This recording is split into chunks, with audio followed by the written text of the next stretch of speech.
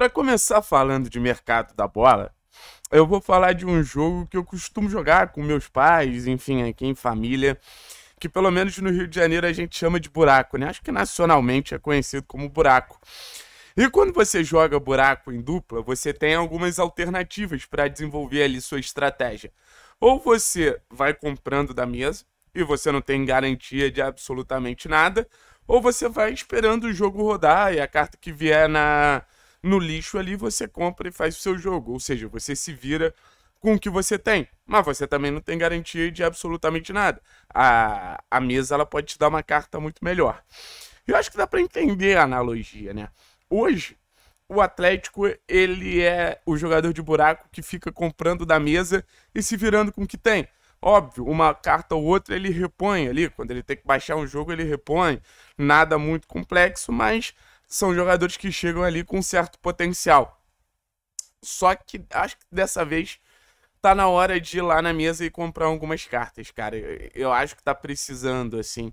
Eu já fiz um vídeo falando sobre isso ao longo da semana e, e eu tava ouvindo a coletiva do Paulo Turra reforçando essa, esse desejo do Atlético contratar mais jogadores e, e, e resolvi falar aqui, né?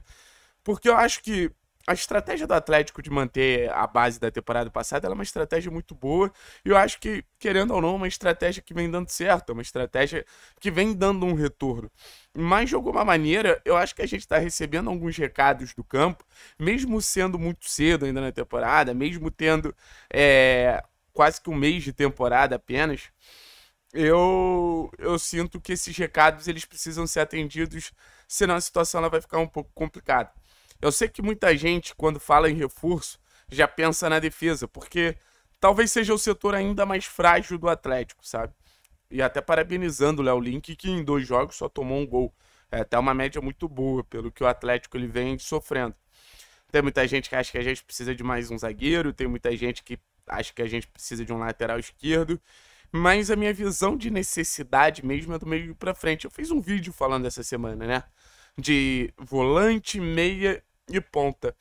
E assim, eu acho que essa necessidade do Atlético contratar vai muito de situações que o elenco atual ele não conseguiu dar respostas. Por exemplo, hoje eu acho que o Atlético ele precisa de um camisa 5. Você tem ali uma dupla muito boa com Eric e Fernandinho. Fernandinho em alguns momentos pode ser esse camisa 5, o Eric em outros momentos pode ser esse camisa 5. Sabe? Então você tem ali uma dupla que se completa, você tem uma dupla que é muito competitiva. O Eric fazendo mais o trabalho sujo, o Fernandinho sendo esse cara mais classudo. Mas sem os dois, ou sem um dos dois, você vai ter que jogar com o Gumoura. Porque beleza, o Eric não jogou, aí tu bota o Citadini. O Fernandinho não jogou, tu pode botar o Alex Santana. Tu pode ir encaixando. Mas, por exemplo, no jogo contra o Cascavel, o exemplo foi claro: já não tinha o Fernandinho, suspenso, o Eric se machucou ao longo do jogo. Entrou o Gumoura. Óbvio que se tinha uma expectativa do Gumoura ser um bom um reserva do Eric. Eu acho que em algum momento tinha uma expectativa até do Gumoura ser uma peça titular da equipe. Só que, cara, assim, o Gumoura ele não se justificou. Desse um ano que o Gumoura tá no Atlético, óbvio que tiveram momentos bons. Óbvio que tiveram momentos ali que a gente falou, pô, esse cara ele vai é, ser o dono desse meio campo, porque marca bem, pressiona bem, enfim. Só que o Hugo Moura ele virou um jogador muito pouco fértil. Nasce muita pouca coisa do Hugo Moura e também não é um cara que desarma tanto. Então você entende como existia uma solução no elenco, só que esse cara ele não deu conta.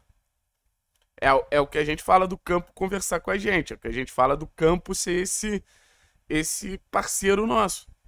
Porque na teoria, na cabeça da diretoria, pode ter, ah, não, o Gumor é um cara que pode ali suprir essa necessidade. Mas o campo tá mostrando que o Gumora não pode vir a ser esse cara.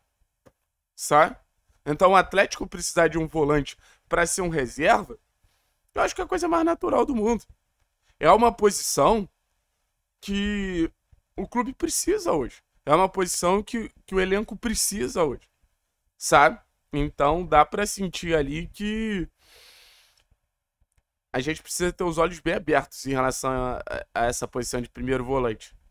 Óbvio que em, em outra situação talvez a gente até optasse por alguém da base, mas acho que o Atlético ele pode fazer esse tipo de investimento.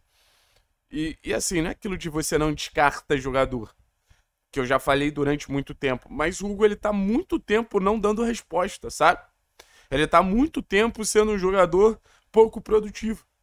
Então acho que, que de certa forma passa um pouco também essa questão da paciência. Aí a gente vai pro meio. O meio que ano passado a gente jogava com dois pontas, né? Aí você tinha Vitor Bueno, Marlos e Terãs. Era uma posição, querendo ou não, ali bem protegida.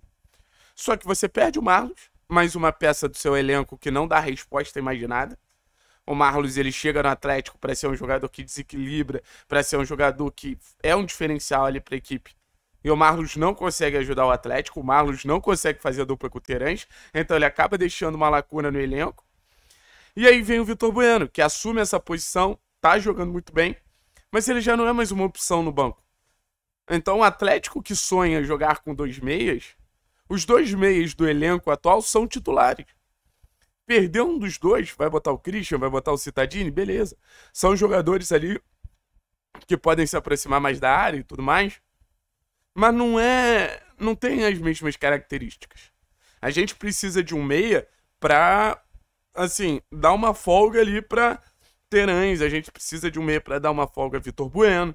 Eles não vão poder jogar todos os jogos possíveis. Então acho que é mais uma opção que surge porque o jogador que era para dar conta não deu. Imagina se o Gumura e Marlon estivessem bem pra cacete. Tava suave, velho. E para terminar, ao lado do campo, acho que a gente pode falar do Vitinho, né? Que eu acho que é mais uma posição que eu acho que a gente precisa bastante. E a volta do Vitinho, ela foi muito comemorada. Não adianta a gente chegar aqui e falar, ah, não, não, não esperava isso do Vitinho, pá. Cara, acho que no final das contas todo mundo esperava algo positivo do Vitinho, sabe? E. E assim, a expectativa que eu tinha em relação ao Vitinho, ela não se confirmou. Óbvio, foi um jogador importante em vários momentos, mas não foi aquele cara decisivo e muito menos um cara, assim, que entrasse na rotação da equipe em 2023. Tanto que deixou o Atlético, infelizmente, se machucou, melhores pro Vitinho. Mas se a gente tivesse o Vitinho bem também, seria mais um jogador que a gente não precisaria nem olhar, que a gente não precisaria nem dar muita atenção. Pô, a gente tem Vitinho, Coelho, Canóbio, além de Marlos, Vitor Bueno, Terence, a gente tá muito bem ali de jogadores da posição. Então, assim, não foi que o Atlético montou um elenco com lacunas. O Atlético ele montou um elenco completo, o Atlético montou um elenco muito bom. Só que as lacunas foram aparecendo. E hoje eu acho muito certo o Paulo Turra cobrar reforços, porque querendo ou não é a cara dele que tá ali, é o trabalho dele que tá ali. E dá para entender que em algum momento ele sente que vai sentir falta de alguma dessas peças. E pode sentir falta de atacante, pode sentir falta de zagueiro, pode sentir falta de um lateral. Eu acho que o treinador ele também tem esse peso de não deixar a busca por reforços ser algo só da torcida. Porque a torcida é uma eterna insatisfeita. Isso nem é uma crítica, mas é um perfil assim do torcedor no futebol brasileiro. Então, quando você tem ali é, cobrança por reforço, cobrança por reforço, perde a validade. Mas quando é seu treinador cobrando reforços, você sente que você realmente precisa olhar para o mercado. E hoje o Atlético realmente precisa olhar para o mercado. Acho que é uma necessidade que o clube tem dessas posições e de outras. Chegar nas principais competições com um grupo mais qualificado ia ser o mínimo, podemos dizer assim.